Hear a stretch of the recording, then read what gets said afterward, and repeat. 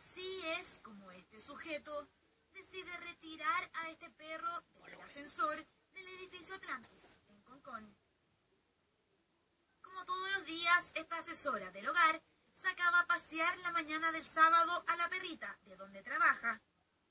A los pocos segundos y de manera inmediata, este sujeto al ingresar al ascensor acompañado de sus dos hijos, la agrede verbalmente No solo eso, como se negó a descender, le arrebató la mascota tirándola fuera del ascensor.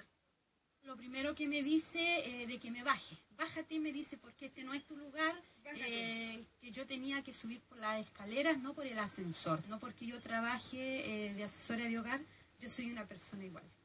Me duele porque,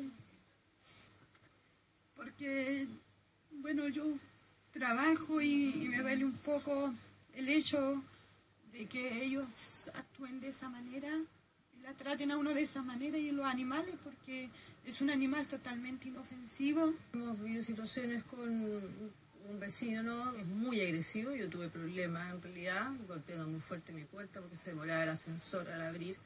Y ayer realmente con un animalito que en realidad está entrenado para una causa especial.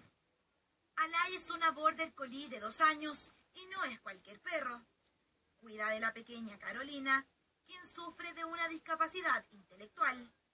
Su papel de lazarillo juega un rol fundamental en la vida de la niña. Es por esto que la familia Salgado no se quedará de brazos cruzados. Una vez que tomé conocimiento de los hechos y haber verificado que realmente existían y haber mirado la televisión, no está grabado, eh, llamé a carabineros y di cuenta a la policía y se tomó una denuncia por eh, dar maltrato a personas y animales conversar con él sin obtener respuesta.